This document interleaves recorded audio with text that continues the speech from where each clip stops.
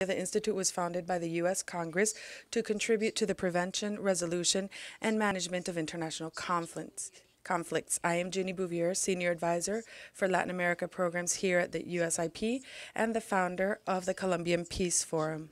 Translation in English available on the headphones, so anyone that needs the headphones, hopefully you have them. We have thank you to the two translators, Marta y Marta, um, who will be accompanying us today. Uh, we will do the event, webcast the event in Spanish. Um, it will be available in English in a few days, but, but currently it will be live in Spanish. El Foro sobre la Paz. The Colombia Peace Forum is a series of policy discussions sponsored by the USIP to support a peaceful resolution to one of the world's longest running internal armed conflicts. For today's forum, we have assembled a panel of experts to discuss how a peace accord might be implemented on the ground. It is known that with the signing of a peace accord, this does not mean that it translates into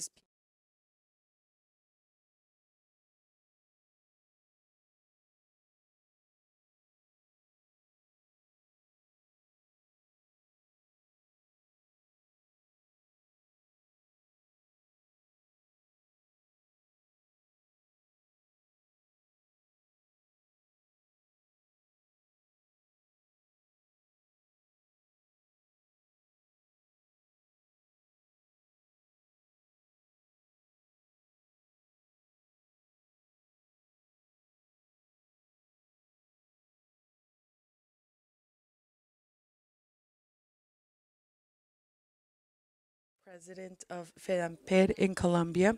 On the other hand, Marino Córdoba for the Afro-Colombian Peace Council, CONPA, and ex-president and founder of the Association of Displaced Afro-Colombians. On my left, Diego Bautista, advisor for territorial peace and post-conflict institutional architecture, Office of the High Commissioner for Peace of the President of the Republic of Colombia.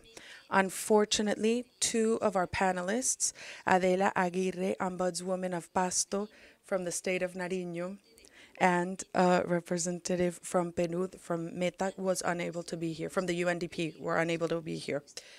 Before beginning, I would like to request our people joining us in the audience to introduce themselves with their name and last name so that our panelists are aware of who, are, who they are meeting with. The interpreter is unable to hear. If there is no microphone, the interpreter is unable to hear.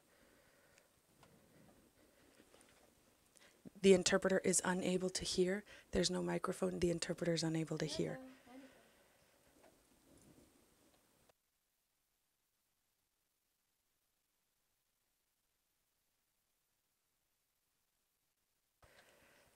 The interpreter apologizes, but they are, we are unable to hear without the use of a mic. Noche. Hola. Así está. Sarah Cobb, estoy una Sarah Comp. I'm a teacher at George Mason University. Camilo Fonseca from the National Federation of Ombudsmen. Jesse Wills. Dot TAI. Soy Miranda Carmen. Miriam del Carmen, a Georgetown student. Germán Hilares from Georgetown University. El Rodriguez, American Red Cross.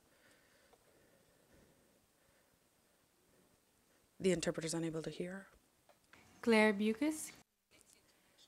Clara Bukis, Chemonics International, Don Sabo with Chemonics International, Luciana Neven, Chemonics International, Bad Noise Chemonics, Diana Montealegre, George Washington University student, Eric Raymond, student at Jobs, John Hopkins University, trabajadora del desarrollo en Guatemala. A Carolina Gómez, estudiante de George Washington University. Carolina Gomez, George Washington University student, and I also work for the Democratic International Institute. Tamajenska, the Soy Departamento de Estado. Hi, Allison Muehlenbeck from the Institute for Inclusive Security. Gimena Sanchez from the Washington Office on Latin America. Joel Ortiz, representando a la Embajada Joel Ortiz, representing the National Embassy and Activists for Peace.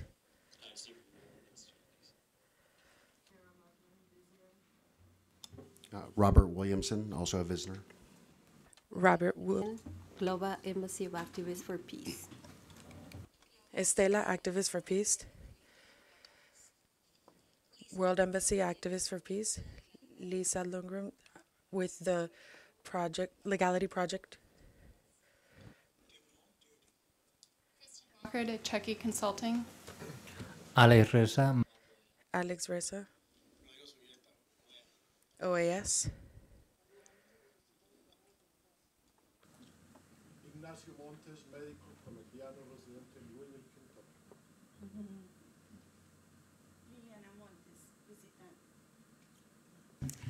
Bueno, les quiero dar la I would like to welcome all of you, as well as those who are joining us virtually. I would also like to specifically thank my assistant, Maria Antonia Montes. Without her, we would not be able to hold this event. I also want to thank the USIP team that has fully supported us. For those who are tweeting, our hashtag is hashtag Colombia Peace Forum. As we meet in Washington today, the peace delegations of the FARC and the Colombian government have just completed their 34th round of talks in Havana. During the most recent session, the parties have been focusing in parallel tracks on the issue of victims and on ending the conflict. Progress at the table has been steady, and in recent months, a number of developments are worth noting. A series of measures agreed on by the parties to help reduce the intensity of the conflict. In recognition of the advances at the table and the success of the unilateral ceasefire declared in December of 2014 by the FARC, on March 10th, President Juan Manuel Santos announced that the army would temporarily cease bombing FARC camps. On March 7th, the FARC and the Colombian government announced a historic agreement to demine areas that have been particularly affected by land, landmines. During the last round of talks, the parties agreed that the demining project will include the participation of the FARC and the Colombian military and will begin in selected regions of Antioquia and Meta, two of the areas most severely affected by landmines. In February, the FARC announced that they would no longer recruit those under 17. Other important developments in past week include the naming by the Secretary of State John Kerry of a U.S. Special Envoy for Peace, Bernie Aronson.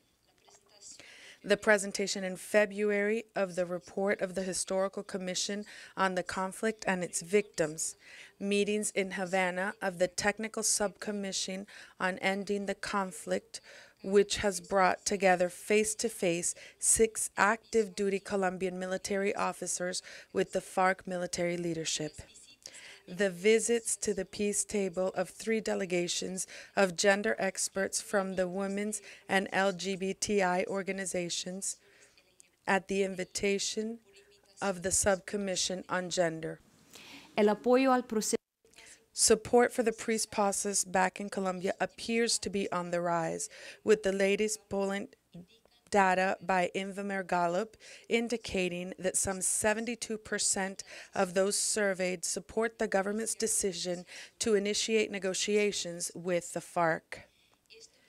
This represents an increase of 10 percentage points from earlier in the year and may reflect a growing effort by the government's team to take a more aggressive stance in defense of the process inside Colombia, where skepticism of the process has been high.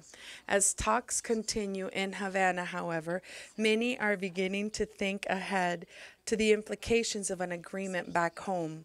Sergio Jaramillo, the government's High Commissioner of Peace, has called for building paz territorial, or peace from the ground up. This idea is meant to engage regional institutions, local authorities, and diverse social sectors and communities in translating an eventual peace accord into practice.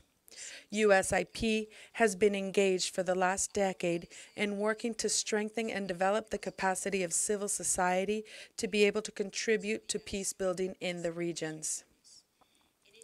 In this regard, we are currently supporting projects and processes whose participants are potential allies in the development of paz territorial, or peace from the ground up. These include groups like the Citizens Commission for Peace and Reconciliation, which have created a model for a multi-sectorial process to spearhead discussions on peace and reconciliation in eight departments of the North Atlantic coast and in Arauca. This process is now expanding to Antioquia and Nariño.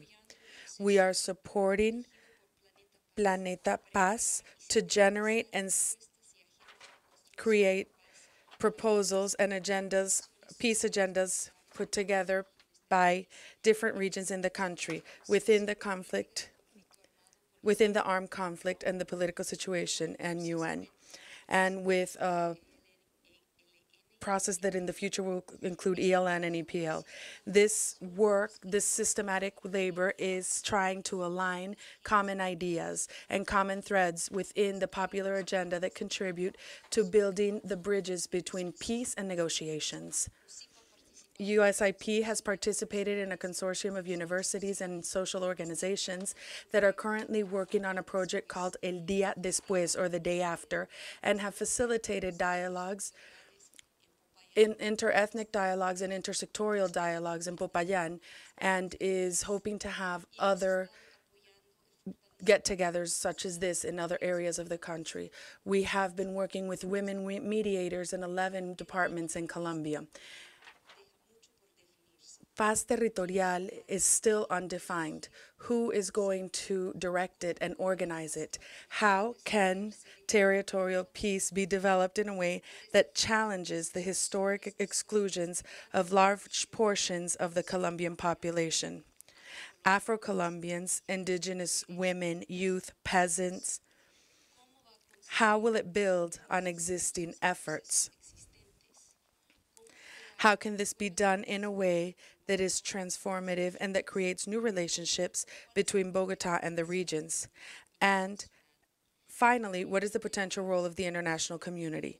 Today's meeting on Paz Territorial will look at these questions and at some of the challenges and opportunities presented by the peace process.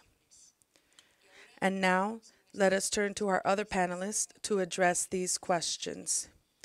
We begin with Andres Santamaria Garrido, President of the National Federation of Ombudspersons, who will talk about the role of the Ombudsman in the construction of paz territorial.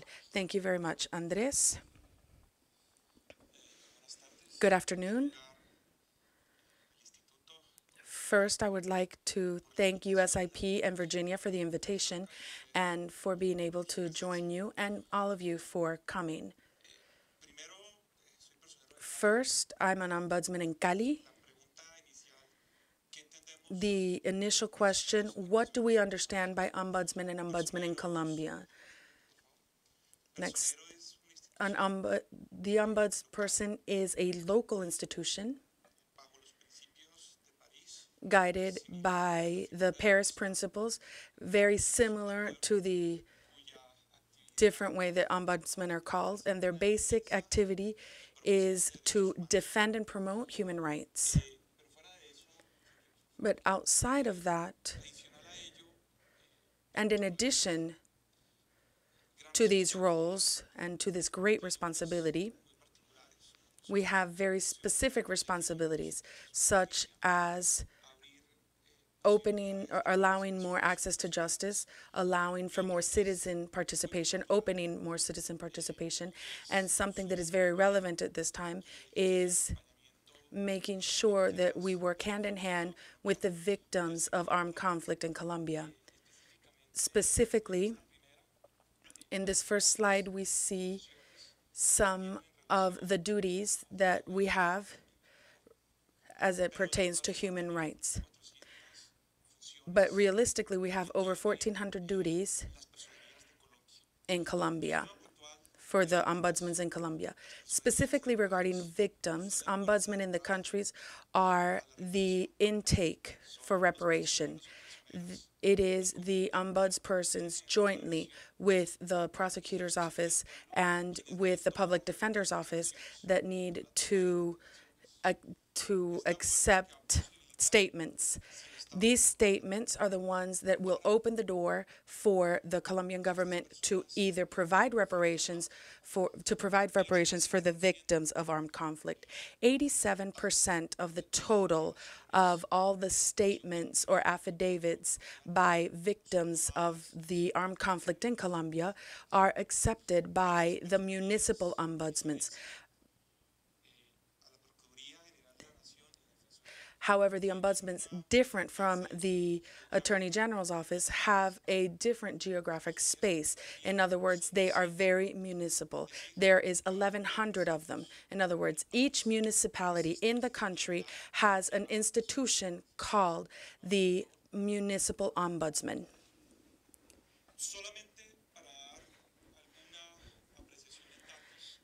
Just to give you some specific numbers, we have been able to identify 100,000 cases regarding human rights.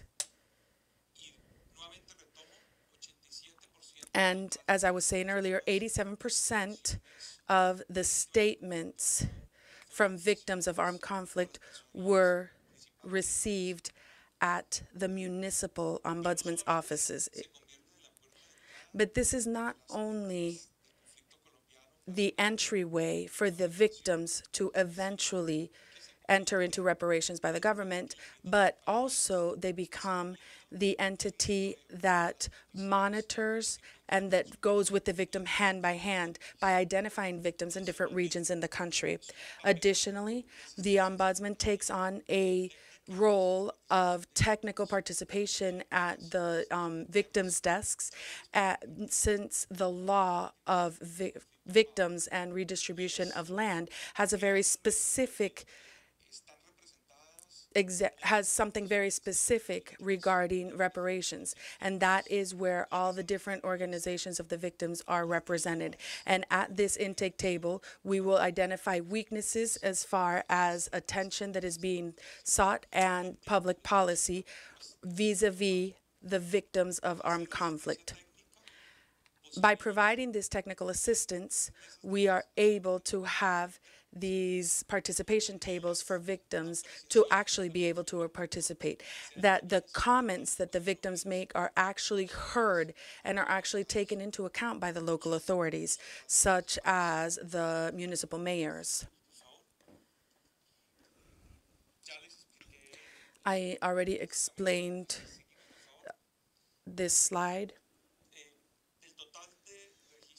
Out of the total registered victims in Colombia, 7 million, 80% were given 80% of them gave their statements at an ombudsman's office.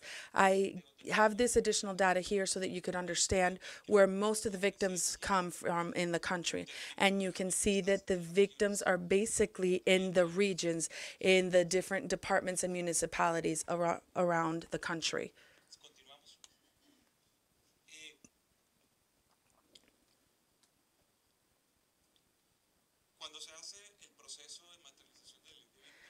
When the victim's law actually materializes and is passed, then there is an agreement made that we have to improve the victim situation at the national level.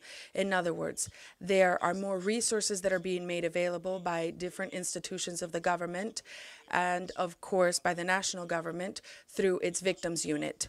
specifically in the municipalities, the strengthening did not exist. The strengthening process didn't exist, although they were a strategic ally for the improvement and for going hand in hand with working with the victims of armed conflict.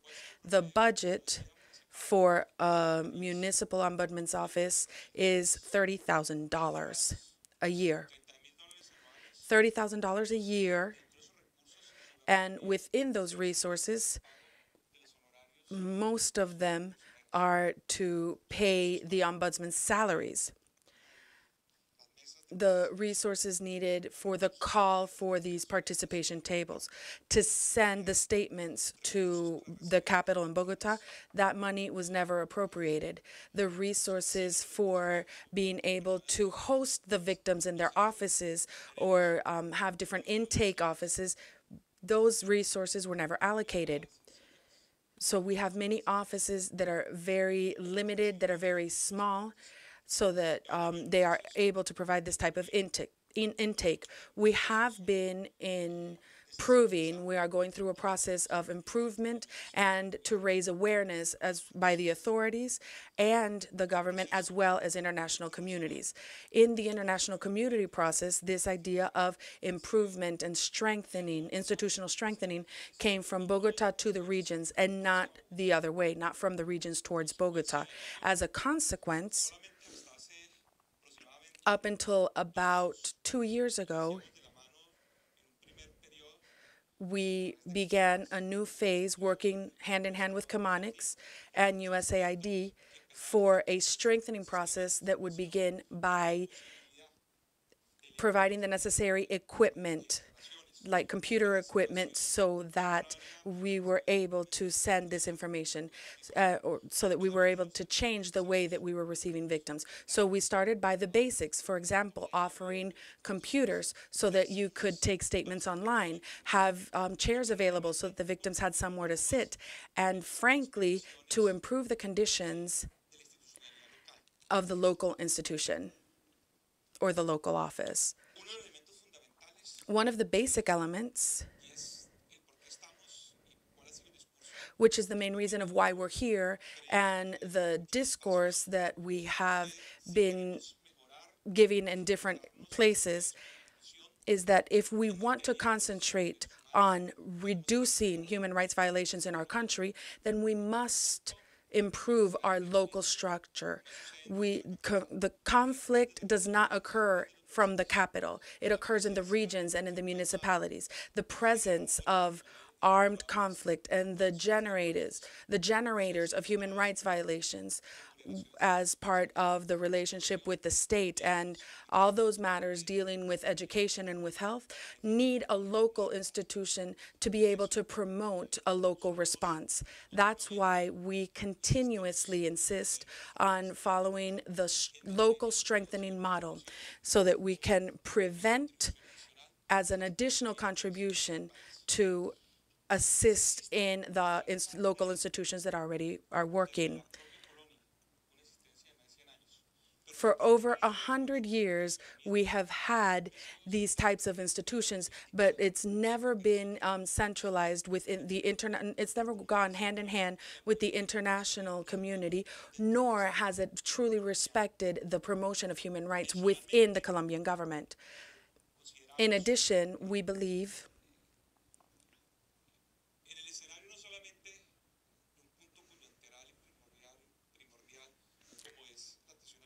that not only from the victim awareness point of view, but also from the post-conflict situation, we have seen the demobilization uh, go on in different countries in Central America. And there's a tendency of an increase in the violations of human rights, of um, domestic violence, violence towards women and children. We have seen this in other countries in Central America.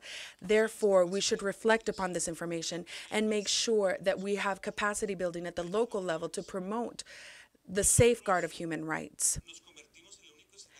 we have become the only place of physical presence in municipalities, whether there are or are not people who carry arms in that area. We have seen a change in the focus that the government, Colombian government, has given with the National Development Plan when it decides on concentrating on paz territorial.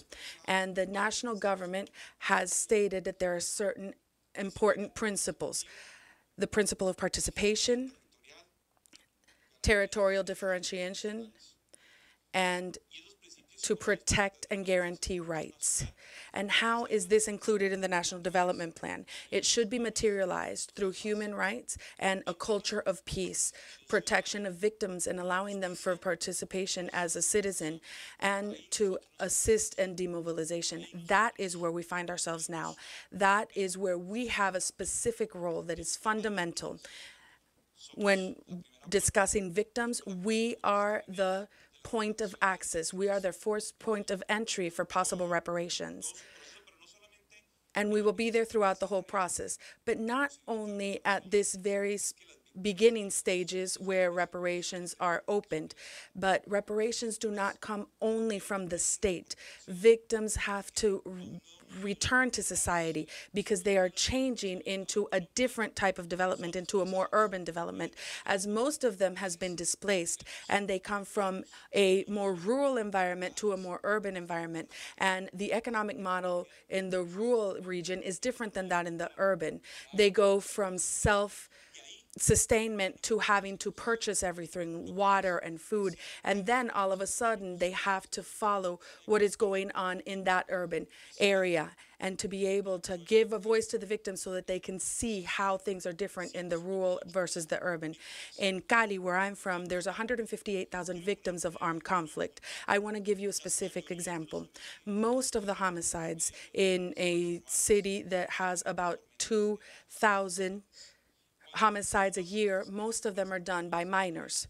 So what do we see as far as juvenile delinquency? We find that many of their parents or grandparents were victims of armed conflict. So the lack of a public policy that truly reincorporates them into society and a and an economic model that changes them from a rural system to an urban system has generated greater poverty and has actually made the urban violent structures a place where they turn. As far as citizen participation is concerned, we make it possible for citizens to be able to express their needs. Um, we are able to see where they are protected under the Constitution and give them access to justice. We also intervene um, in order to have resources made available for the communities. We have it um, through a specific fund that if there is a specific judicial process, a certain right may be recognized and we may be able to allocate some funds. As far as our presence in the municipality, we are there for monitoring. And when the early alert system was established, specifically um, through USAID, the main reporters for early Los alert- organismos the municipales early alert system son dinamizadores. The a partir de are people who take into the entire context of their municipality. They conocen los actores de violencia de su comunidad, the people who instill violence in their community and they understand the personality of their community. sucede o lo que puede suceder en situaciones de vulneración de derechos humanos o en situaciones de infracciones al or Partiendo de un elemento que yo creo que es fundamental. La situación de violencia en Colombia no es homogénea, es heterogénea. Tiene diversidades it's heterogeneous. It is manifested differently in different regions. The regional manifestations can somehow speci- be specified as, for example, because of drugs. But there are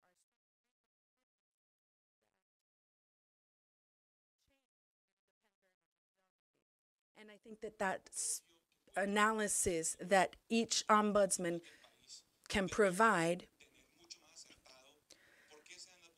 allows us to have more information as to why these rights may or may be violated. I would like to reiterate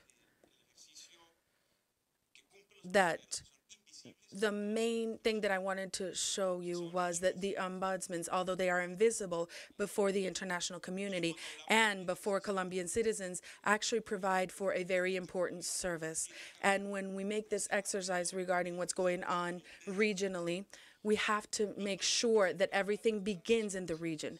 The ombudsmans are not the ones who are going to improve on the protection of human rights, but they are additional element that can contribute to the protection, promotion, and defense and monitoring of human rights.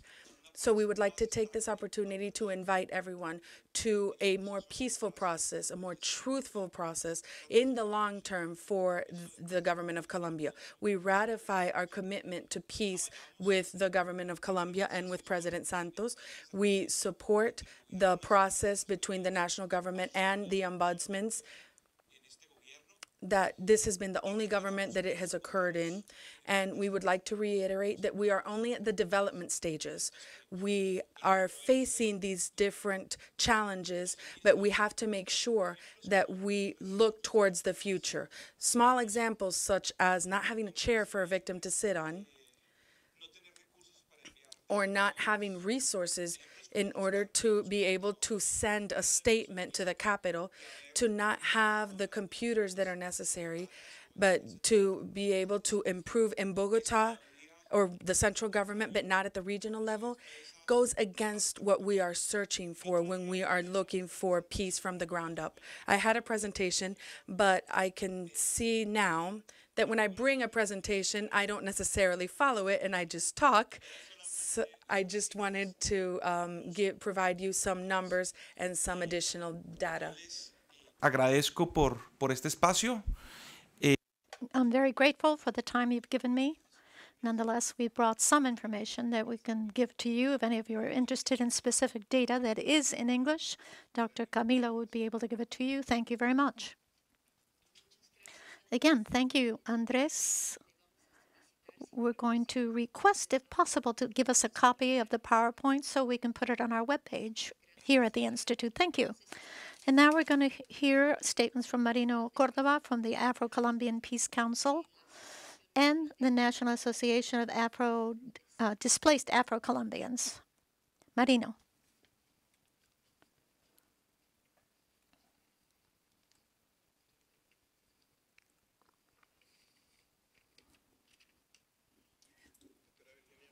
Dr. Virginia, thank you so much for inviting me here.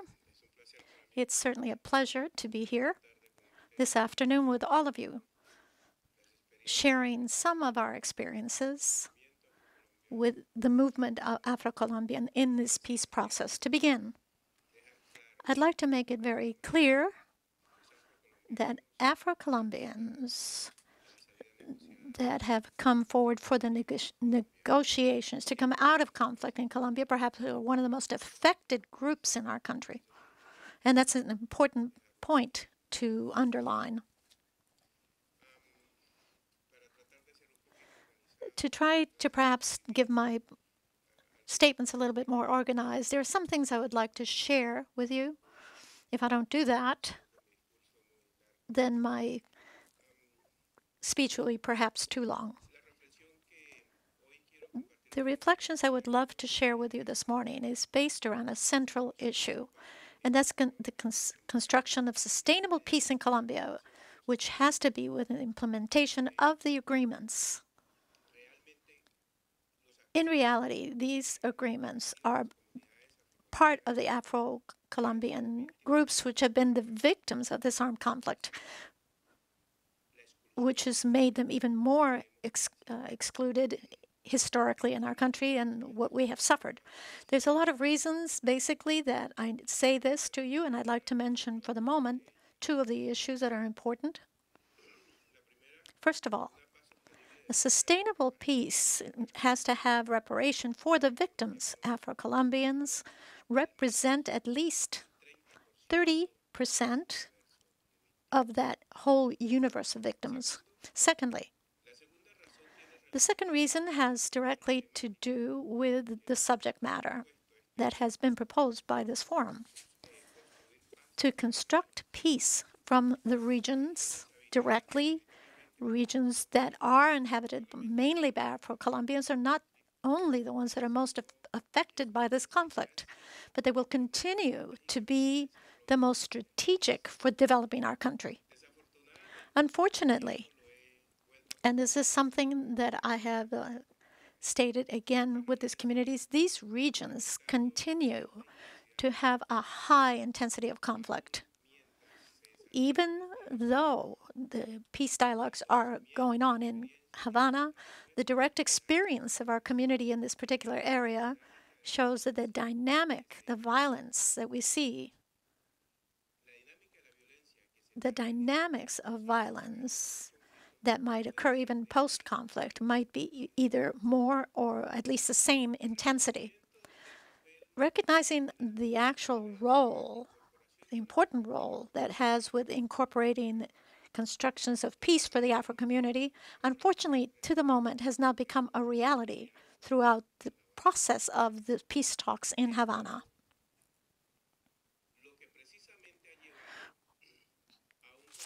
What has basically led a group of organ this has led to a group of Afro-Colombian groups that are very well known, that have done a tremendous amount of work with the people and we've re- realized the Afro Colombian Council of Peace. Before getting in depth on this particular subject, the idea that I've begun to speak to you, let me very quickly give you a summary of the initiative itself and invite you so that all of you will support it from whatever institutions you represent and whatever personnel is there.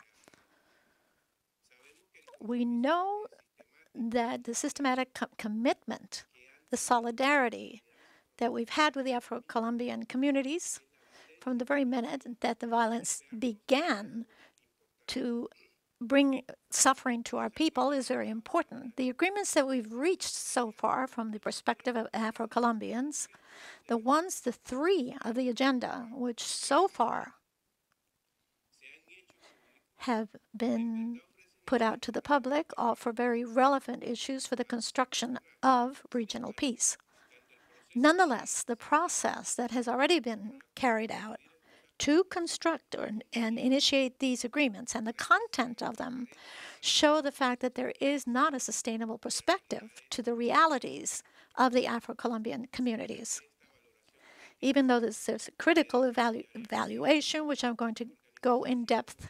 The organizations and communities that make up the compact, the, the Consejo or the Council for the African um, Colombians, go along with peace and the agreements that have been reached. However, particularly from the Afro Colombian perspective, as the dialogues and peace dialogues continue, we are convinced that the government the convenience of the government and the FARC have, that they have to publicly recognize the needs to integrate the Afro Colombian perspective into the process. But definitely, we know that the possibility of reconstruction to create restitution and the protection of our rights in a post conflict scenario is something where we're going to see the institutional processes, social processes that are working, where they're going to be able to implement these agreements.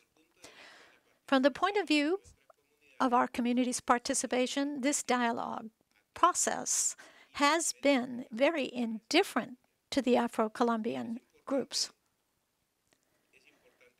It's very important to state this because that has to be corrected.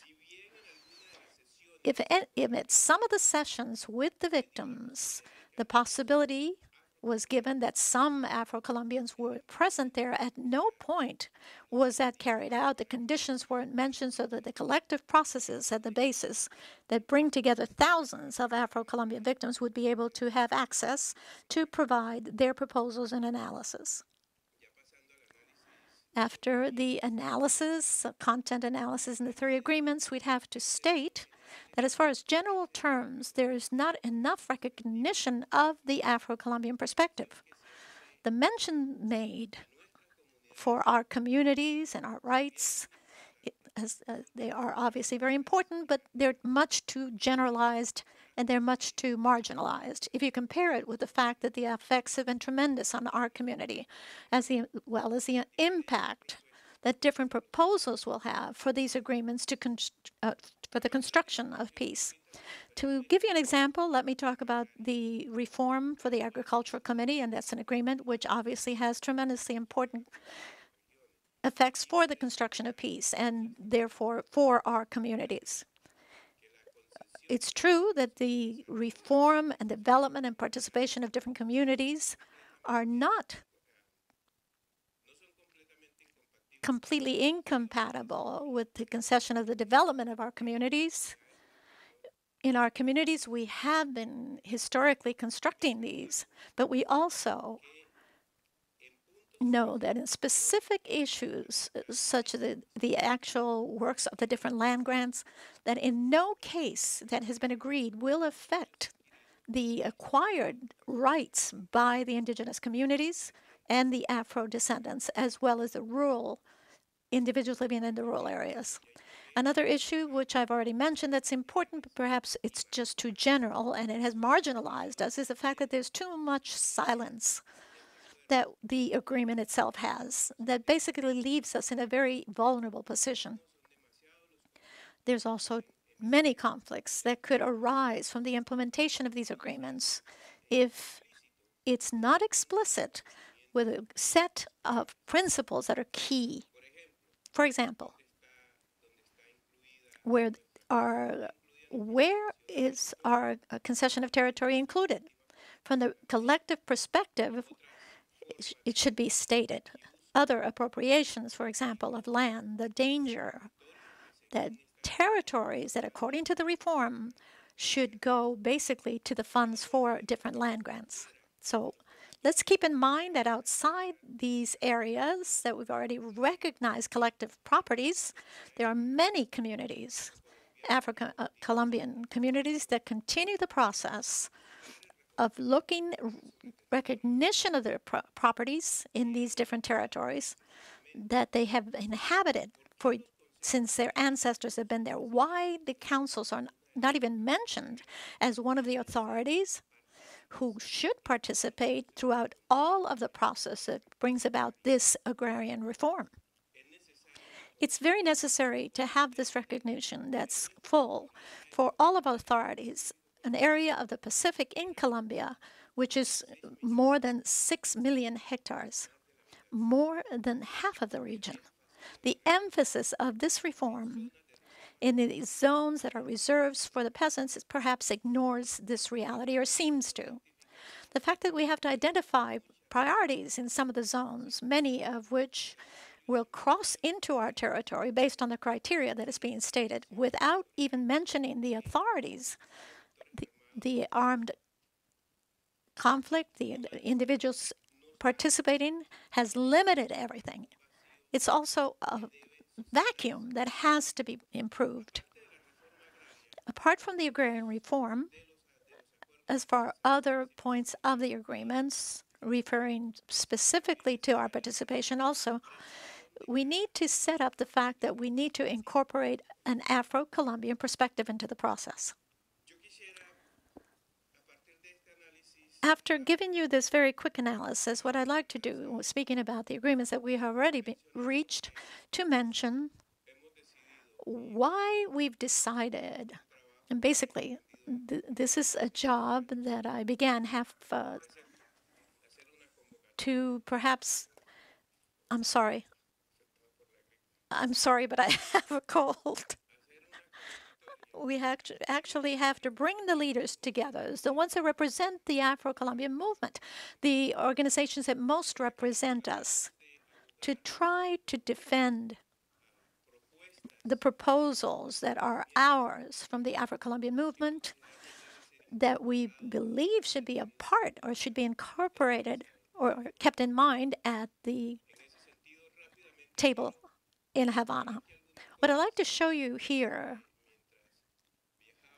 is uh, some of the issues that I saw while I was traveling yesterday. I was able to bring these points together. Here's a map which places us in Colombia and also in the reality of what the Afro Colombian population is. On the map, you can see that the 2005 census states that Afro Colombians are 3.4, 4.3 million. And that's a little bit different with another reality, which is way before, where it used to say that uh, Afro Colombians were 11.6 millions. And this is a, situation that I myself can't even understand what has happened uh, or, with those two different numbers, which obviously the, the two numbers make us think either the conflict has affected it so much so, or the population has moved, or they've died, or the census was improperly carried out. Something has happened. And it's something that we don't ag- agree with. The CONPA, the National Council, is a proposal from the or leaders of the organizations that most represent the Afro Colombian movement. And as I said before, what we're trying to get is to guarantee the political participation of our people and that the voice of the black Afro Colombian people will be able, Palenqueros Raizal, will be able to be part of the peace process and there'll be attention will be paid to it.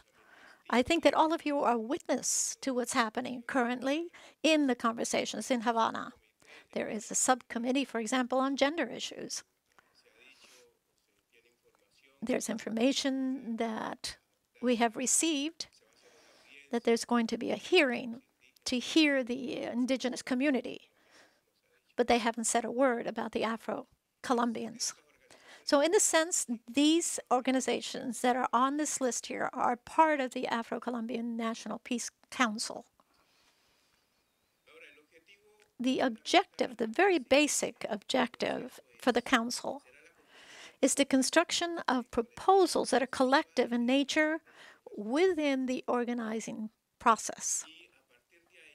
Starting from that point, what we would like to see is that those proposals be presented at the table, but at the same time it should be shared with our allies and also at the international level. The legitimacy of CONPA is based on the agreements that have already been made through the organizations that are part of the process. One of the principles that we seek to reach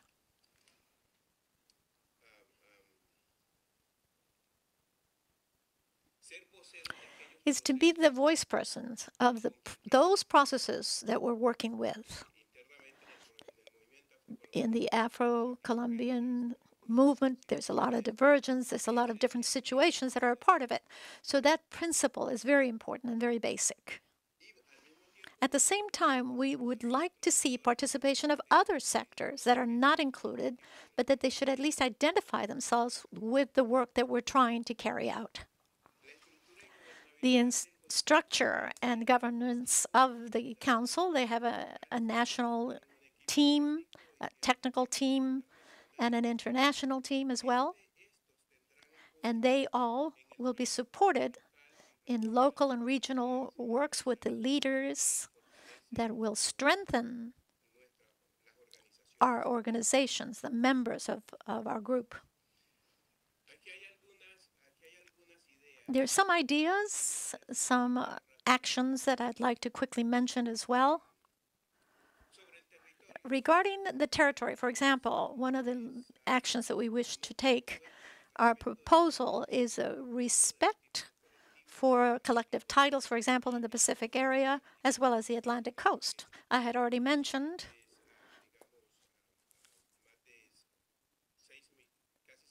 that there are more than 6 million hectares that are collectively in the name of the Afro Colombian groups. But at the same time, there are many conflicts and interests that affect negatively these Afro Colombian areas. There's a lot of illicit crops, the traffic of cocaine in, the Pacific area of Colombia. There are concessions to multinational companies that basically from mining, energy, uh, forests, many cultures, cattle, cattle raising, etc. All of this make it impossible to govern and to live together in our communities. As far as the issue of victims is concerned, humanitarian crisis and reparation, we have already taken steps forward on the process that what we really should try to do is to have a, an efficient, realistic public policy for the attention and reparation of Afro Colombians that have been a victim of the armed conflict. Integral inclusion in the register of victims. This is a huge problem that we have in our country. Justice, collection guarantees of no repetition of the things that happened and the military government, etc., that caused this crisis in the Afro-Colombian community, guarantees that we will be receiving back with safety and dignity and security.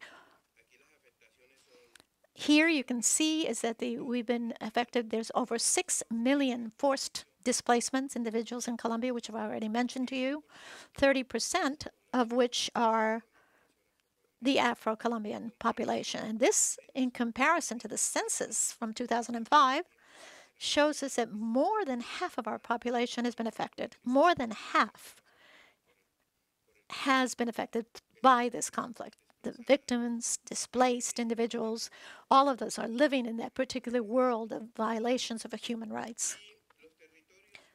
As far as territories and populations, leaders, and organizations which are still under threat because they try to go forth with leadership and uh, to be able to express their proposals. As far as pass with social justice, that's something that we also consider should be public policies for reparation and attention to the Afro Colombian groups that are victims to be part of the register. The I think I'm repeating myself at this point. Yes, I believe I've already mentioned this before.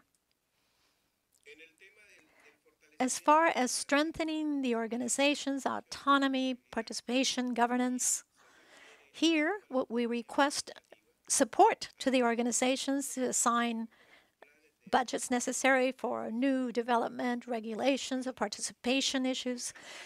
From the previous consultation according to international norms, recognition and support to the National Peace Afro-Colombian Council to have a construction of a proposal that's collective for peace as well as the special subscriptions for communities that are Afro-Colombian. I think many of you are witnesses of the problems that we have in our country. We have two individual mestizos that represent the Afro-Colombian, which is unbelievable, but that can only happen in my country. So here you can see that these organizations, the Consejo or the council that is limited in its free exercise of autonomy because of economic models that gives license to multinational companies without any prior consultation by drug traffickers, guerrillas, paramilitaries, and illegal mining. Leaders and, and, communities that are limited by the increase of the threats, homicides, systematic homicides, impunity, displacement that is forced, forced disappearance, discrimination of natural resources, and the abuse that occurs. This is serious sexual abuse and violence against women. This is a very difficult issue Many of this is not even spoken. The agenda of Havana, they don't include the collective rights of the organizations or our groups.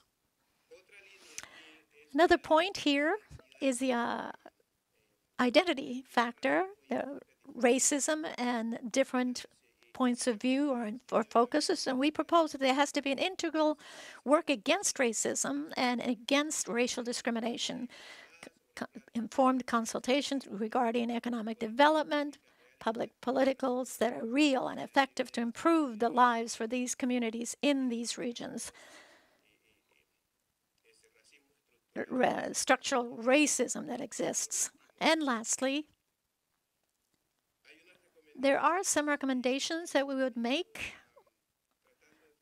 trying to strengthen the recommendations, and I think this is also very important to share with you, and to increase the visibility of the Afro-Colombian in conflict, peace, and transition to the post-conflict and their recommendations to support politically so that CONPA will be able to participate or have real participation in the negotiations at Havana. To integrate CONPA in the dialogues regarding the programmation of funds in order to do everything necessary for post-conflict and credits and other subjects that are related and guarantee measures of security and protection for the leaders that are construct, uh, constructing these proposals for peace of territories and communities. I'd like to end by saying that one of the points that most has affected us, the most serious situation that we see today, is the constant amount of leaders of ours that have to constantly be moving in order to maintain their lives. The most serious issue is impunity because there is no justice on these issues. And even more than impunity, there is no trust with whom they should talk to or present their problems. And there's no response from the institutions. The protection, national protection agencies haven't even responded to us. And instead of offering mechanisms day to day, the guarantees are less and less to guarantee the lives and the work of these leaders in the community. Thank you. Bueno, muchas gracias, Marino. Thank you very much. And if you could please leave us the PowerPoint so that we could upload it. We will now hear from Diego Bautista, the advisor for territorial peace and post-conflict institutional architecture. That's a long name of the Office of the High Commissioner of Peace in the Presidency of Colombia.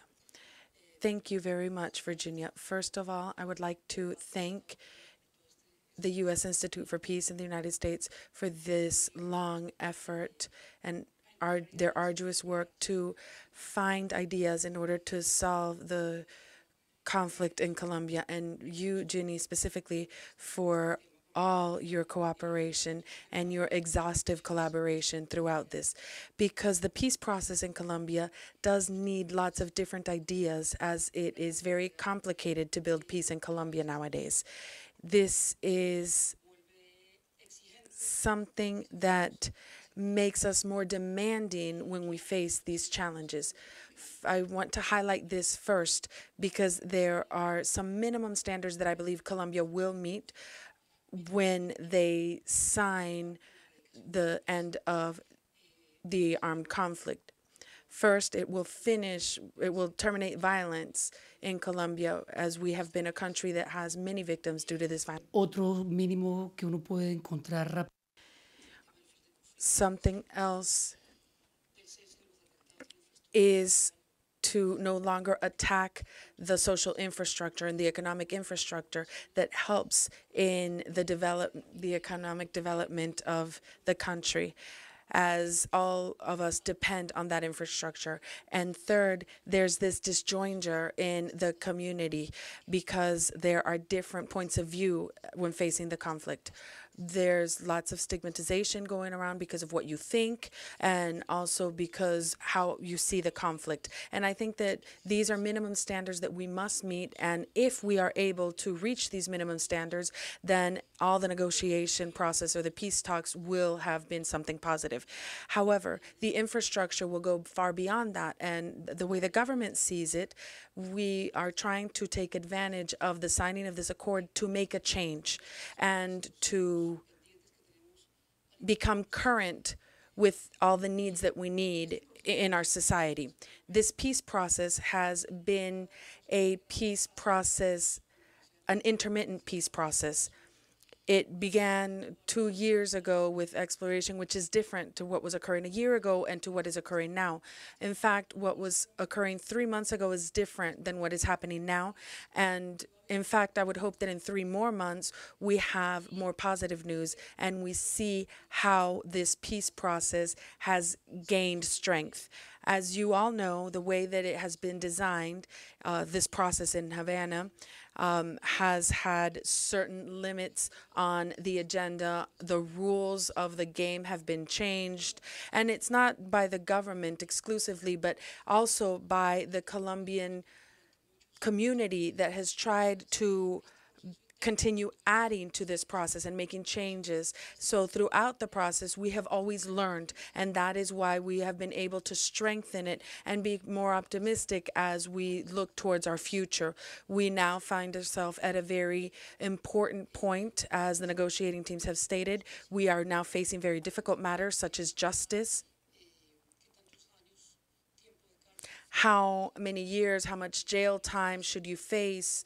versus well basically everything that we're facing because of this transitional justice we also have the returning of weapons. This is something else that's very difficult. These peace talks are about to get even more difficult.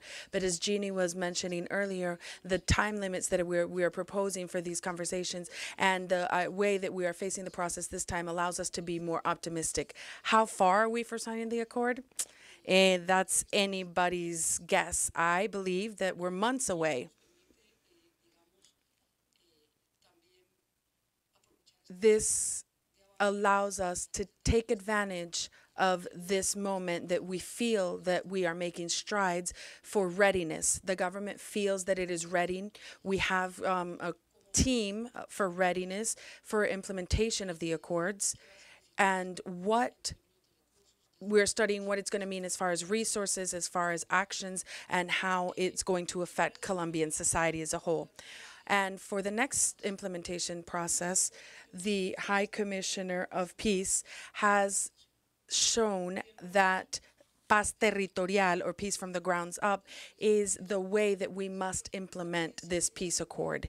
And from this point of view, we are also trying to incorporate it, incorporate the best practices of what we've learned in other from other institutions throughout other peace processes in Colombia and at the international level we have been able to work with different institutions in, in collaboration so that we learn from their best practices as well.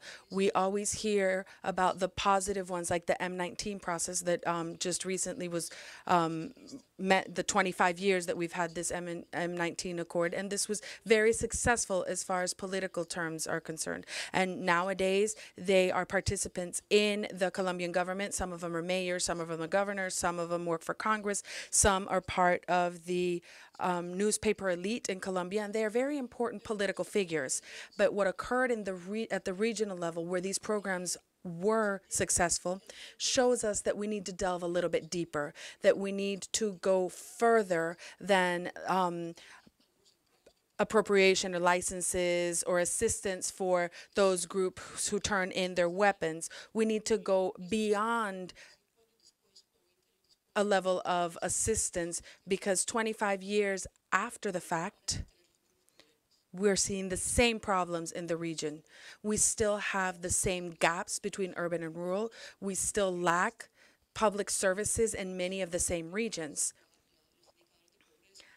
The poverty indicators do not seem to have improved, and in fact, in some cases, have worsened in these regions. So, when taking into account what we consider a successful peace process, we need to define as a government what this idea of paz territorial is, the way the High Commissioner has proposed it. If our, our objective is actually peace, which is the objective of this accord, we want to make sure that we protect the rights of all Colombians in every part of the country. And that is what our end goal is with this whole process. How do we do this? It's very important. And that is what we have to learn from past experiences. And what we have seen is that the only way to have stable peace and long lasting peace is by transforming the region transforming the way the citizens see our new peace arena that sees the region as a whole and sees that there has to be institutional changes and there has to be a cultural change and uh, always have the vision of peace. And that is what territorial peace is it is ensuring the protection of rights from a regional perspective so that all regions are participating and all citizens are participating in this process. For these reasons, we have presented this as a joint peace process because that is specifically what it is. This is not going to be a process with public policy designed by some uh, politicians in Bogota or by some technical advisors. sido la tradición. Esto requiere realmente This has been our tradition of the past, but this time we will be part have we will incorporate more citizens. las complejidades de la construcción de The government is unable to move forward on its own. It's going to need assistance from the private sector, from academia, from churches, from social organizations who have been peace building for many years. incluso para esto. They have found themselves in adverse, and this joint process has to be from the territories and understanding the uh, public populations of individuals that live in these different territories to understand that Marino and Andres have already mentioned some of the special and different situations that we find. This takes us to the very first stage of peace process, which is adjusting it so that it become institutionality. Our current institutional architecture is not one that functions well for peace building.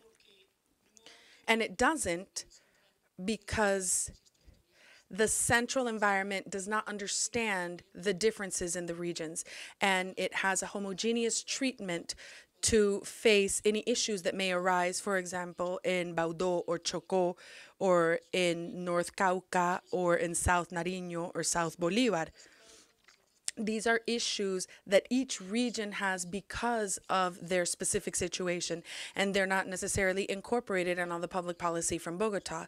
So there must be some specific changes there so that we move from a planning and budgeting stage and resource allocation stage from a specific territory to the territory as a community. That's not the way it is viewed now, and that is one of the things that must be changed for this idea of peace from the ground up. As far as institutions are concerned, many of you know here that there is much weakness in many of the institutions for compliance, specifically future compliance of the accords, of what is being established by the accords, for those who have been heavily touched by the conflict there is also a very important agenda item, which is the implementation of the law of victims has already taught us certain things regarding the resources that we need, regarding the speed that we need to be able to respond to the to the community. As far as land restoration, we also have to um, see how quickly we can react to that and how um, we can be supportive. When you go to a certain region, you say, you always hear, look, look, you implemented this from the capital, you signed off on this from the capital, but we have to implement it. And now you're doing the same thing from Havana. You sign off and we have to implement it. And we aren't given the additional resources or management tools to do so. This is something that we must face in this peace building process. And the idea of sharing between the regions and the capital. We have um, some departments like Antioquia, Santander, and Cundinamarca that are different from Arauca, Caquetá, and Putumayo, who have a different population number. But as far as resources are concerned, they're treated equally. So when facing peace building, we have to study the current institutionality and see how we can improve upon it, kind of by a surgical method. We also need to be able that we define institutionality in order to implement any possible accord rising out of Havana. How are we going to do this? We have to understand what is going on right now. Right now, we have a policy of consolidation. We are consolidating territories, and there are different action plans that have been brought forth by the victims unit, by the agency, the Colombian Agency for Reinsertion, and there are some organizations that are working at the regional level for resolving the conflict. Now we have to define what the institutions will be for post conflict or for peace building. And this also occurs because there are different levels of coordination and different tools that are available so that we may continue with the peace building process. Institutionality will also, the institution will also have to learn that we need to go work hand in hand with social organizations because of participation, as we see that participation is one of the basic elements in peace building within this peace process from the grounds up. We do have a participation process currently, and we do have some specific tools, but this participation requires a change with the new stages that we will be facing. Participation is a basic element of accords. You can see that there are community assemblies, that there are development plans, regional development plans, uno por uno explícito en los textos. And one by one, there are specific texts for the participation, and we must be able to implement them. But participation is also a transversal principle. It it cross cuts every region.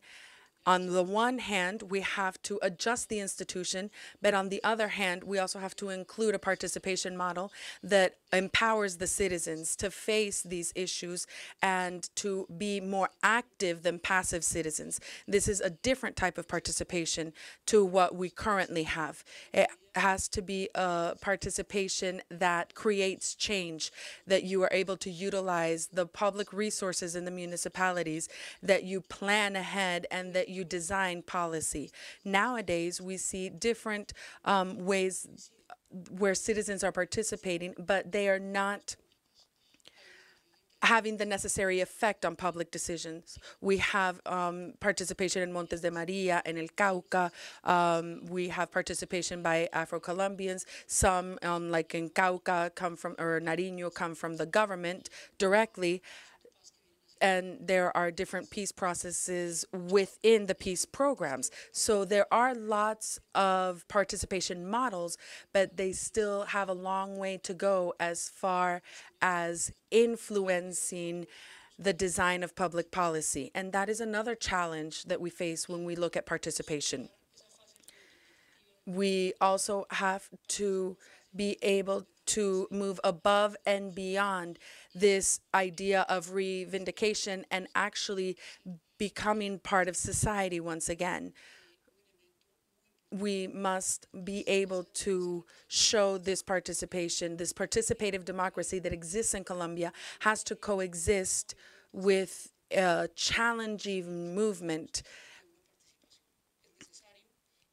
of participation. This is necessary, and I believe it is included in the accords, and it'll be part of the very important political agenda with peace building. And there's a third element within peace building and paz territorial, which is intangible. But when we visited several regions last year, we went to many regions, just um, had discussions with governors, with mayors, with civil society, where um, in these areas where we will probably begin the implementation, there is this intangible, and the intangible is distrust. In Colombia, almost around the whole country. In fact, in areas where the conflict wasn't as intense, there is a disjoinder in the social fabric, specifically in the, even more in the areas where conflict was very high. When local organizations discuss, uh, converse with the governments. The gov- they don't trust each other, and then local governments don't trust the national government. The organizations themselves don't trust each other. As Mr. Marino was saying, within the same organizations, there is distrust. They are fractured, and that is a task that is not a minor task within the peace building process because we can have development agendas. We can have action plans. We've learned a lot from our action plans, but actually implementing them makes these frictions that create this distrust be reduced. And that is another element that we have to really work on. For this reason, the government has began to state that just as there has been talks in Havana and as we all hope this will continue to be successful. At the moment of implementation, there should be talks on peace building that will organize the information that has emanated from the accords and the impact that it has on the regions because it will be different for each region and that it can identify any issues that are going to arise at the implementation point and that we can somehow respond to these in a more constructive manner when compared to the past. This is another one of the important tasks within peace building as far as paz territorial is concerned. reconozca las diversidades del territorio, the different diversities of territory, models of participation that really have the participation of the citizens in an appropriate manner and that be part of the influence and the trust that has to be built, which perhaps is the most difficult thing to do in peace building, and that we see today based on the different individuals that are looking at the process skepticism, pessimism in some of the territories, and a series of concerns. We need to say that based on all of this, as a government, we have a lot to improve when we go to the levels of pedagogy, ped- pedagogy when they have to implement it in these urban areas of Colombia, etc. But there is something that's very concerning us in what's happening. And the fact of this mistrust, that's an obstacle to make us go even slower on these peace agendas, so what you need to do. Having said all of this, we're not naive either. Based on the incredible challenges that the, this peace building is going to hand us. On the 31st of October this year, we're going to have governor elections, mayors elections on the 1st of January. Next year, in about 10 months or so, they will take that those new offices, new governors, new mayors for a period of four years. Now, perhaps they'll be the first governors and mayors that are going to face all of this challenge of the post-conflict. Amongst all of these challenges, there are three that very clearly we can see. The first has to do with the implementation of all of these accords and everything to do with the post conflict. And here, some have been mentioned today, have to do with the victims themselves, has to do with the restitution of their lands, that has to do with reincorporating them to their, their lives on an economic and civil level for the ex combatants, and it has to do with the air, rural areas, the zones that really have low abilities of institutions or capacities. Those are the challenges that these new officials are going to have to face. In general, these areas, when they be, take over these offices in the 1st of January 2016. que son los de siempre. But there are other challenges, the traditional challenges, the ones that know that there's tremendous problems in Colombia in certain regions and with certain populations in Colombia. Those that have to do with the access to public services, for example, in regions that are not the main parts of our municipalities. The roads, for example, the third level roads, so that can have a social, economic impact in the areas, areas where there's no water available, where public health is not a right, areas where there's a tremendous lack of presence of the state and a lack of complying with everything that they have to do in order to bring about the post conflict accords. And a third set of problems that are not least some already exist, but I'm sure they will be some of them will become even larger in the future have to do with the conflicts that we're already seeing in our territory between mining, for example, the environment, between environment and agriculture, all of these series of conflicts that are emerging, the different levels of development between industry based on the peasants, the small producers of the country, between populations that are Afro Colombian, indigenous, everyone in the same territory, and the use of the territory. This will be all a source of tremendous conflicts. So, this is to say that the challenges are enormous and that they're not going to be resolved from one day to the next. They're going to require not only development plan that's four years, but a longer agenda. And that's why this is something all of us have to work on for con- constructing them. Territorial peace, or this peace from the ground up, is asking to be to, to analyze all of these problems, territory by territory, and to be able to bring all this together to, so that everyone is aware of all these challenges. Additionally, There are some subjects that I have to mention as well, and that are structural in nature. They have to do with the structural issues that affect the territory, but sometimes don't really depend on it.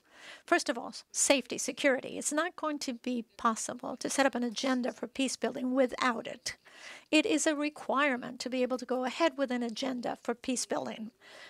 A mechanism, a participation in office is not even legitimate, nor will it have any impact if we don't have everyone participating. Safety for the social leaders of our country, which is also part of the Accords, safety for the politicians, for the individuals that make our policies, and safety in the rural areas, which is perhaps going to be one of the most important challenges, which the government has already been moving forward. And they're thinking of how they're going to accomplish it. All of this then is on the table. When we talk about Central America, for example, when we look at all the different international processes that the problem of insecurity that goes after the agreement of accords. I don't know if it has to be that way necessarily, or perhaps we're learning in a different way and with the intelligence we get from our history is to try to correct these problems of something that is we know are going to happen with all of the different processes we've had throughout history. So this element of safety is important. Peace, as the president said, has to bring more peace. It can't possibly be that peace will bring less safety and security. It has to be more. It's necessary in order to construct peace. On the other hand, the subject of justice is very important. If we're talking about compliance and the guarantee of rights for all Colombians, justice has to improve. Today, for example, the things that have been happening, everyone's aware of it, that they have uh, relevant issues that happen. The judicial process has to improve, have more access, be faster, guarantee the rights of citizens, that most of them will be reaffirmed with compliance with the accords that are being mentioned in Havana. The other point is the economic dynamics. So, in order to sustain the peace, we require not only an effort for the first months of post conflict and its implementation, but in reality, they have to be part of sustainable solutions. And this happens through the dynamic economics of territories that will make peace sustainable. That later on, will have more success to reinsert these combatants to the reconciliation that's necessary. The economic dynamics also have to be strong if faced with these conflicts the different territories. We're going to have some discussions about territories and what are the challenges and what we have to do economically. Finally, a point which is per perhaps not minor, perhaps it's mid or long terms, is the subject of political relations that agree certain decisions that are made that are politically decided in Colombia. It's one of the fears that we have based on the investments we're going to see for post-conflict world. And generally, to anything that has to do with political life in Colombia.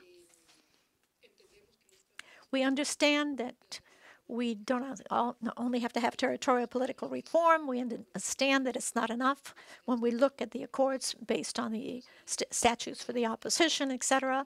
Other instruments that the accords are looking at. But also the participation, as I mentioned before, has to be a determinant factor in how the change will occur. And that's an, an agenda we have to follow. There's many examples today in Colombia regarding how to carry out politics when you go to the communities that will not go through this sort of process of lobbying or, or, uh, favoritism, perhaps, that are occurring in Colombia. And that's another agenda that will have to be faced in the post conflict time security, justice, economic dynamic, in the territories, as well as a change of political customs. So these invest investments will have larger impact and also contribute to be able to reach peace. At this moment, as I said at the beginning, we are months away from signing the accords. And I like to say that, months away, because months is ambiguous, isn't it? It could be six months, it could be a year and a half. But Nonetheless, we have seen through all of the recent events that we mentioned before, that Ginny mentioned, that we're closer now than further away to reach the Accords, although we're at a critical point. We're at a point where we're having to prepare starting to see everything that's being contemplated in the accords, the new land situations, institution, uh, this doing away with the illicit crops, our participative nature. We don't want to have preconceived ideas. A dialogue has begun on all these different designs for organizational designs with the local authorities to be enriching the process. The restrictions that the accords give us that we can't implement until they're signed is also an opportunity. So we can start designing things on zero day when it all begins when the implementation begins, we're going to have to be ready with everything that's been con contemplated in the different points of the accord, but also prepare the territories in everything ha that has to do with the peace building process in the first 12 months. As we know from conflicts at an international level, we have to have a rapid response plan. We've been working on it already. Uh, with uh, using events that have happened in other countries that it's incredibly important the first year after peace building. So we're at that point of preparation. We're looking at the different regions. We're going there, talking to the authorities, talking with social organizations, incorporating a lot of the lessons learned from the victims, the women that have, as we said before, basically setting up peace building, and they have a lot of information to share from one region to the other and enriching the models that we're going to construct the peace. These are tremendous challenges, as you can imagine. They're monumental in nature. We are optimists nonetheless.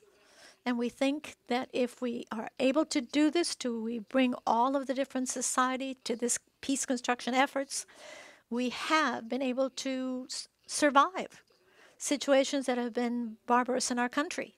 I think if we've been able to live through that, we're also capable of peace building and to set up these scenarios so that they are viable and so peace will be viable in Colombia. Thank you. Well, thank you very much, Diego. I think we're going to ask for questions. Unfortunately, we are at 4.30, which is the time that we had decided we were going to close the session. So if you need to leave, uh, go ahead. Don't no problem. And if any of you want to continue for a further discussion, we can do that.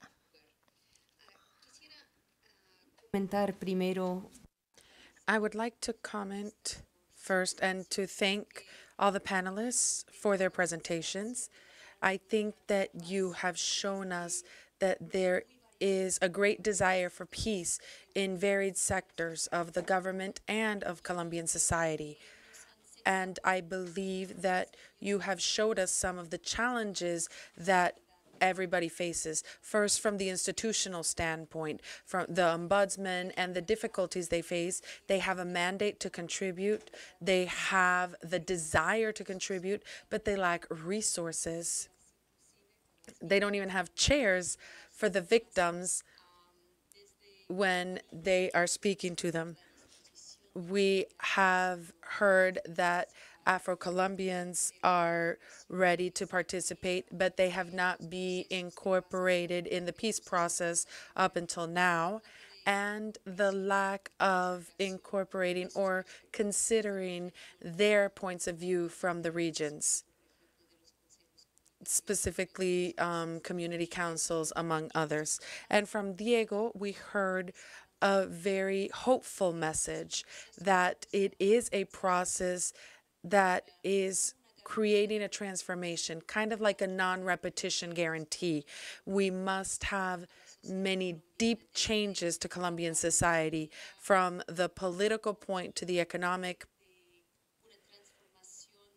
and a cultural transformation and a change in attitude for peace. He has spoken to us about a new institutionality, a new partic- uh, model participation a, a new participation model.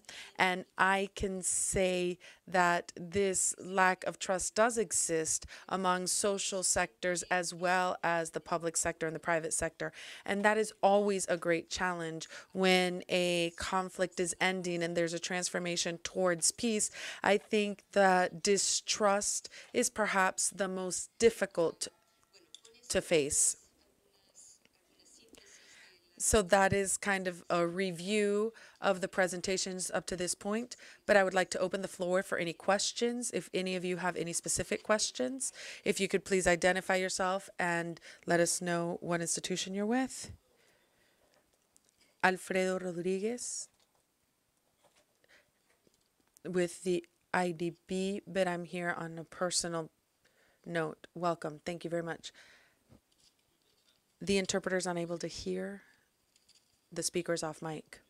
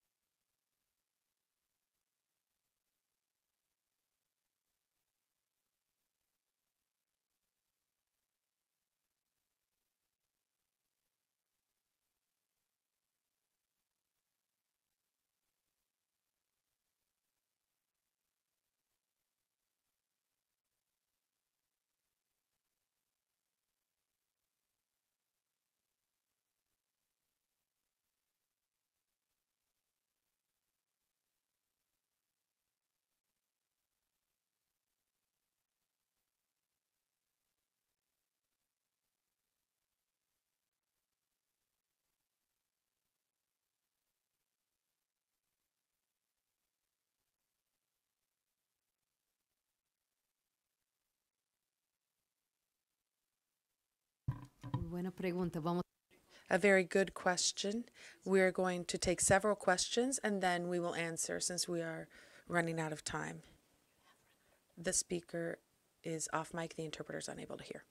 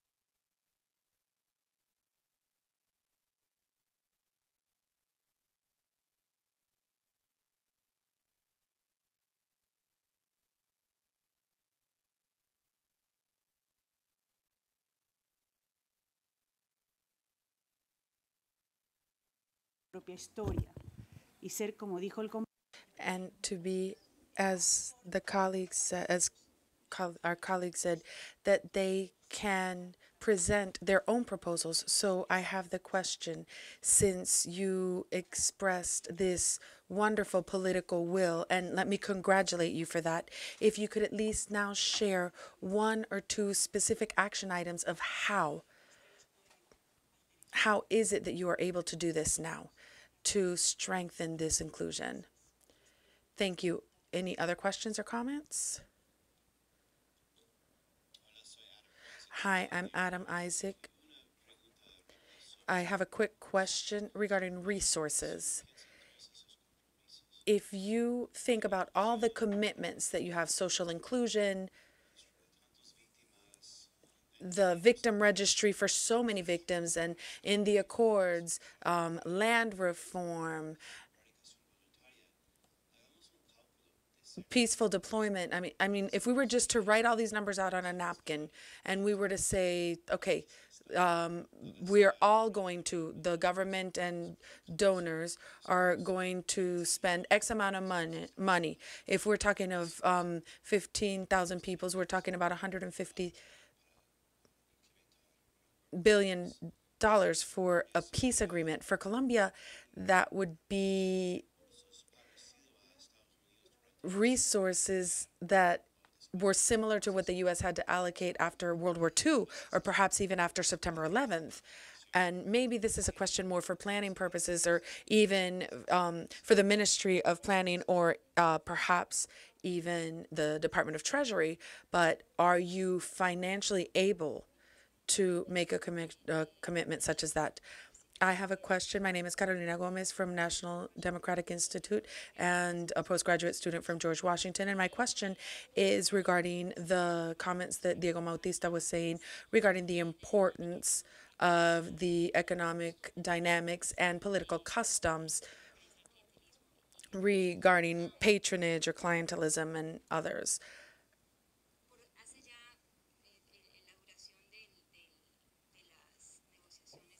Throughout the negotiations process in Havana, we have not heard hardly at all of private sector initiatives. What the private sector is going to contribute for the construction and implementation of peace talks for a peace in Colombia. Just more recently, we have heard regarding um, initiatives emanating from academia for peace building in Colombia. And I am specifically mentioning the consortium, which I believe comes from the University of Los Andes and Javeriana. And they are just now beginning to create groups to work on peace building. In fact, I even think that in Spain, they have began discussing an education initiative for those who have been demobilized. But we hear nothing from the private sector.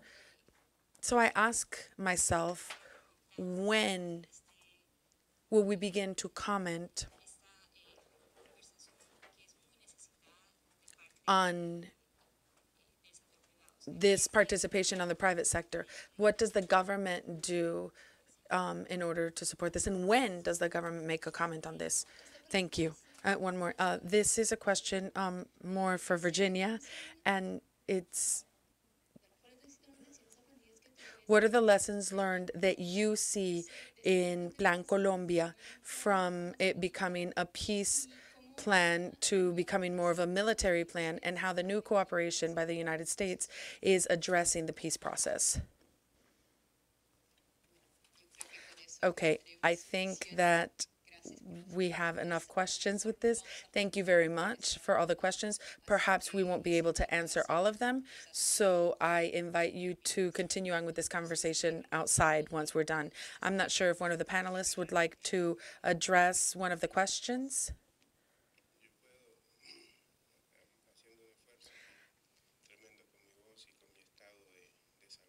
Um, I can making a huge effort and sacrificing my voice and my health. I would like to mention and taking into account your question, Fabiola.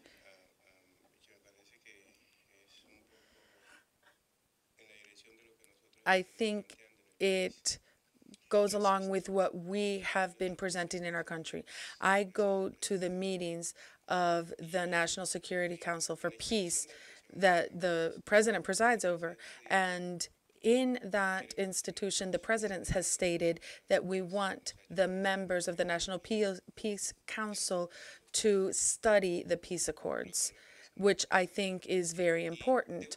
And I must state that while being here in Washington last year, for the presidential election or for the presidential elections where we feared that the proposal to continue on with the peace accords was going to be eliminated if Uribe's candidate were to win. I went directly to my community so that we could support not so much the president, but he was the only one who wanted to move forward with the peace accord, with the peace talks.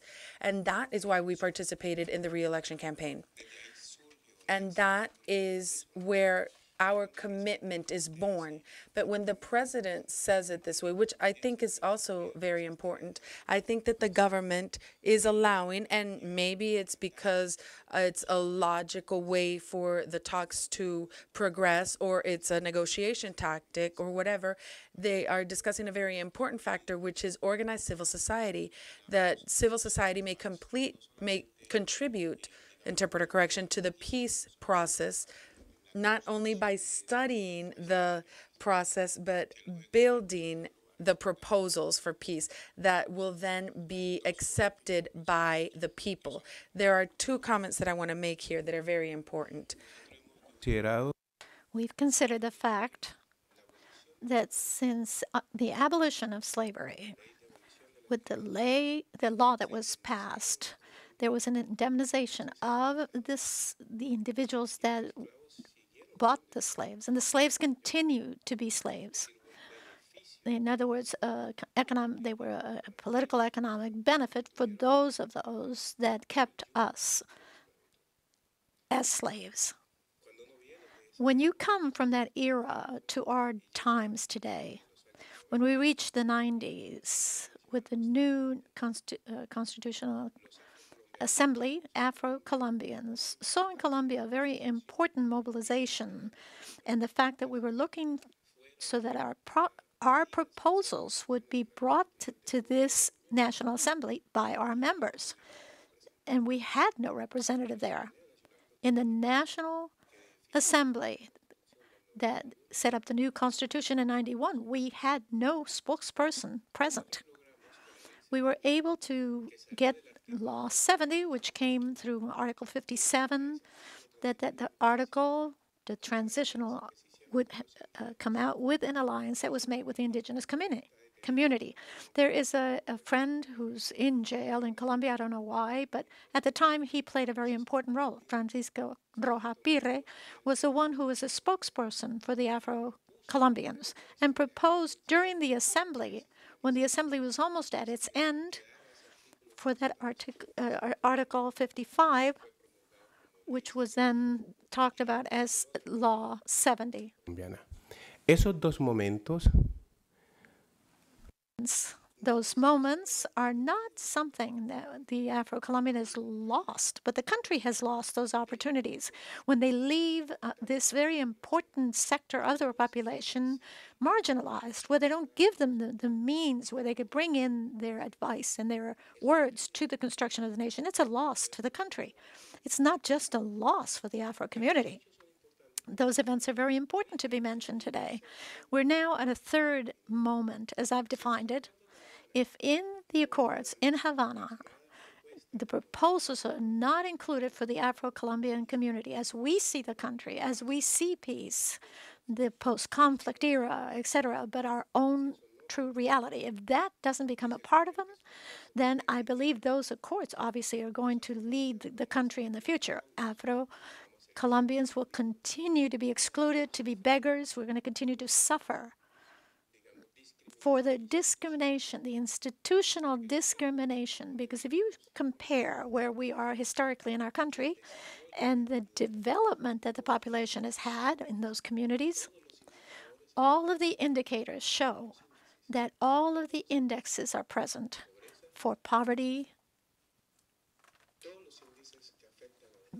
all of the ind indexes that affect a population. So I have stated during the National Peace Council that to do pedagogy for peace is important, but how? Can I talk about peace agreements or accords if my proposals are not included? There are situations that are very complicated. I'm not going to say that they're risky, but they are difficult to understand. The reserves, for example, for the peasants in the country, where will they be? Those different areas. I'm sure many will be set up in the Pacific area of Colombia, and there's still a debate regarding the the lands and whether they're going to be given to the black community or not. That's not clear.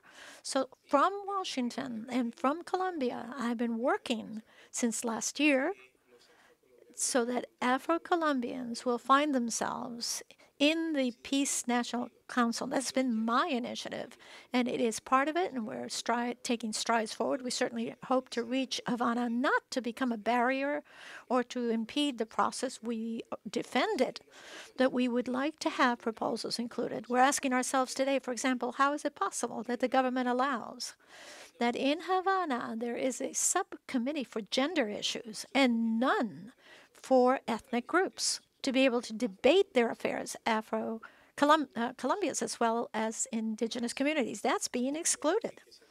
That's something that we've seen, and it's concerning. In that sense, I believe that, that there's a lot of things, but I believe that we are available. We want to go forward with dialogues with the government, dialogues even with the guerrilla.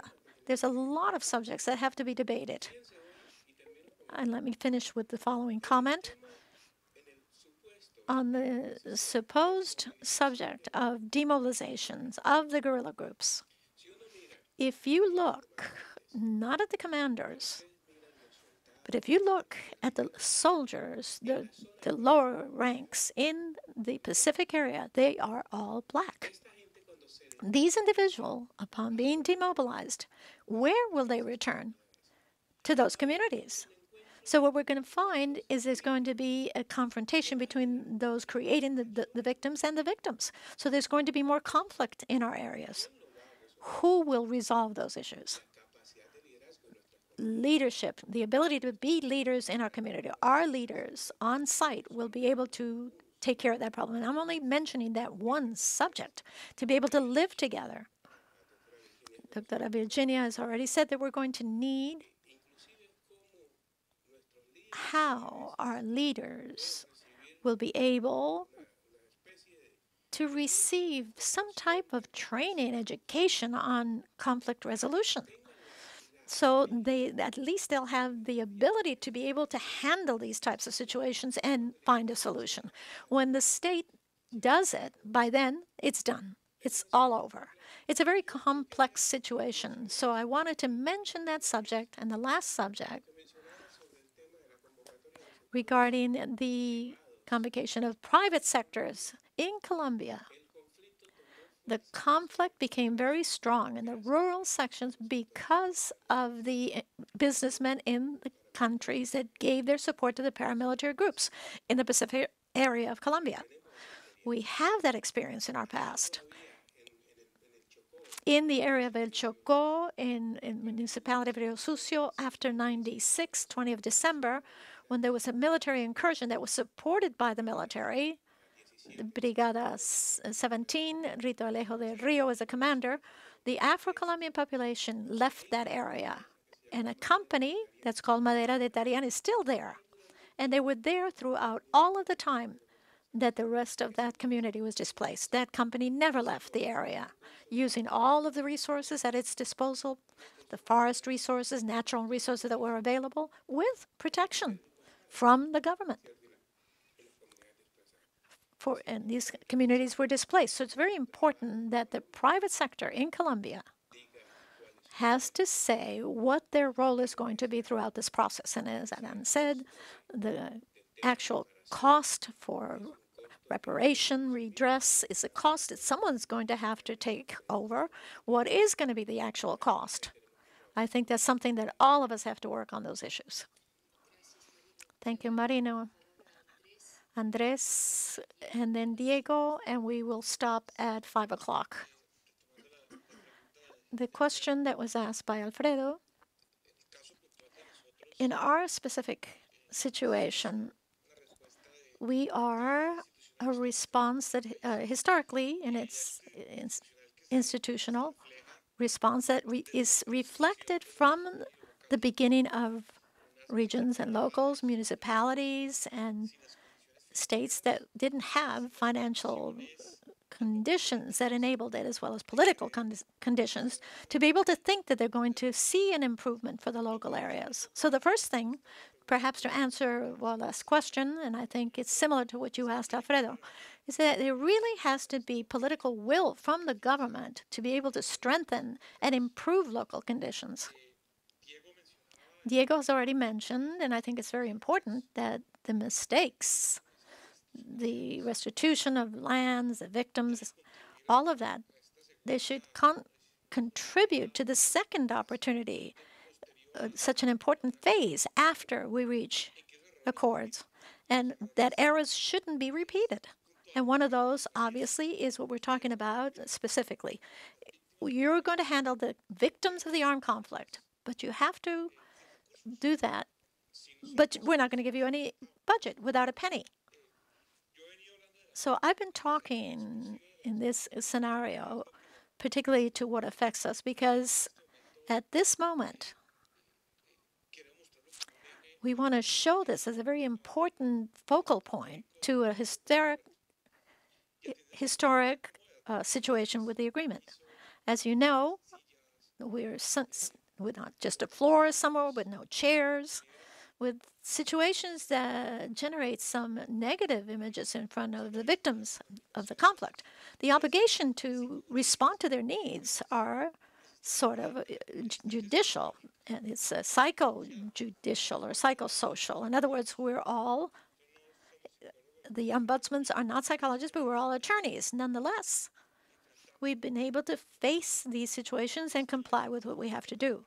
It was very important for Colombia from the scenario that it came from, historically, they had to recognize the conflict and they recognized the fact that they had victims. First, they recognized the victims before the international community, and afterwards, the Constitutional Court.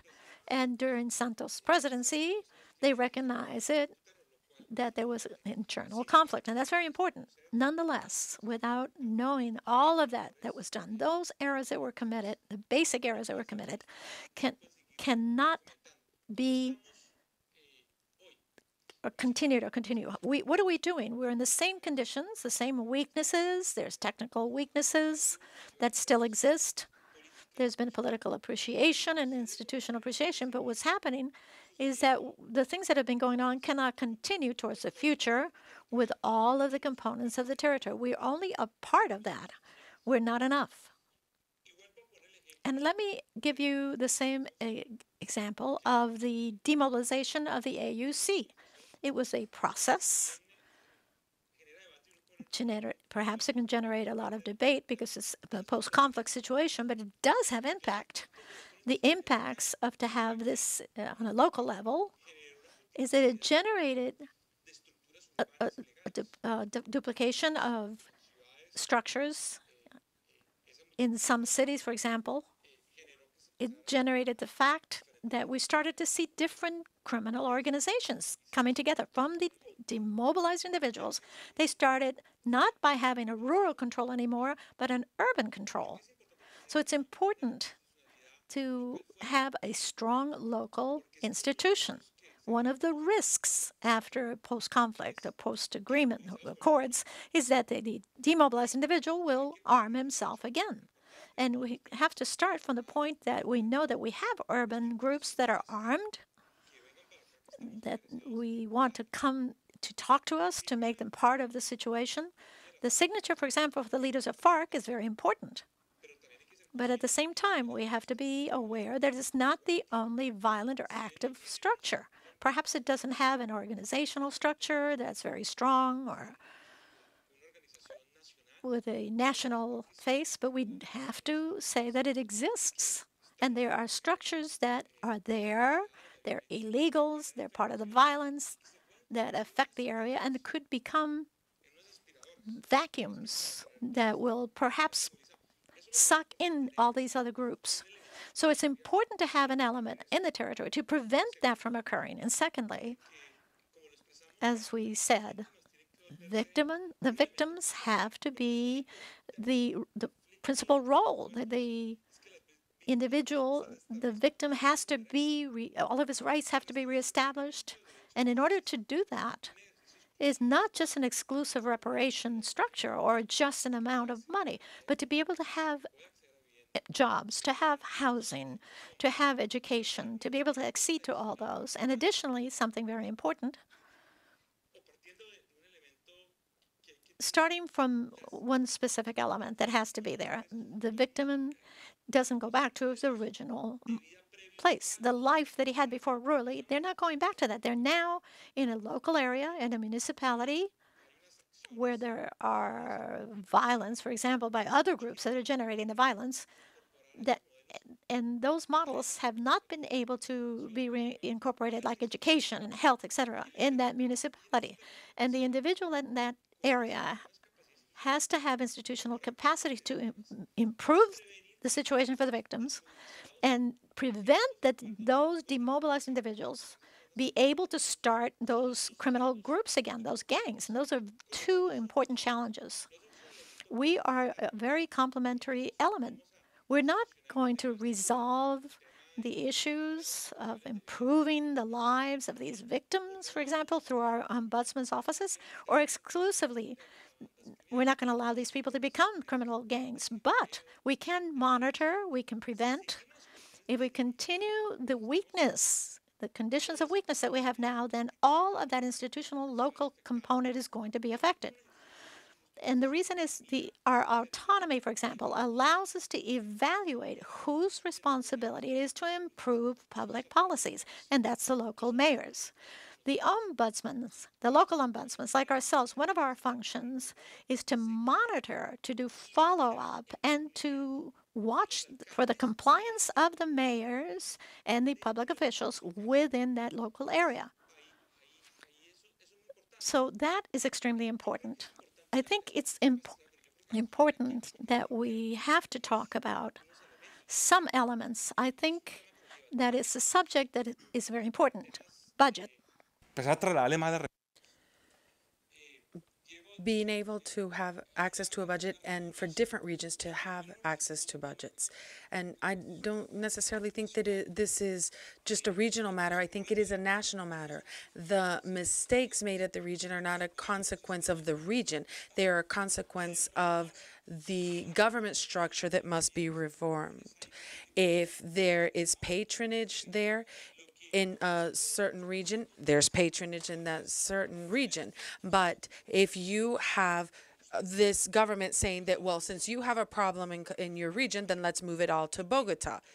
Because the improvement process should actually be a reformation to change that at the local level. The local level is weaker and less adequate when it has a negative arena.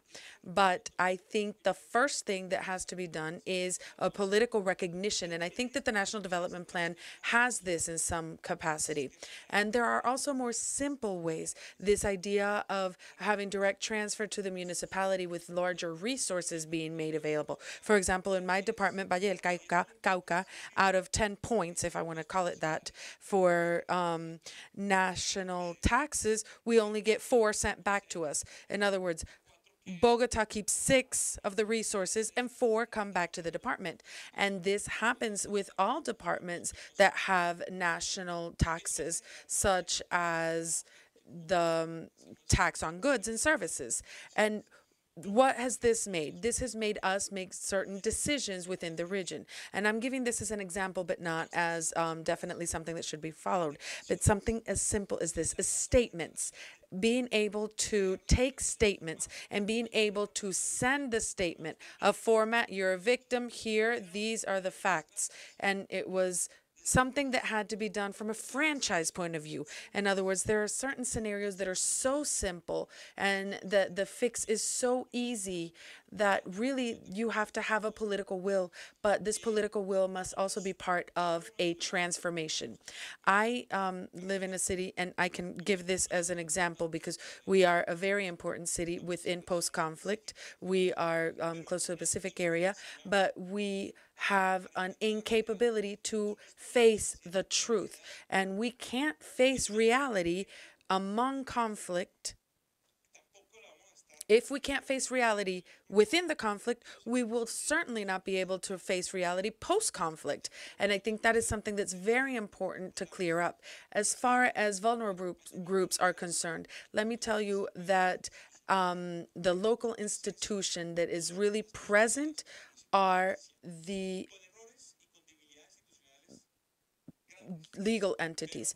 There are problems within these legal entities, but that is the only way to work hand in hand with the victims. And lastly, to reiterate that when we discuss territorial weakness, although the international community has greatly supported the Colombian process, I believe that there has to be a deeper solution.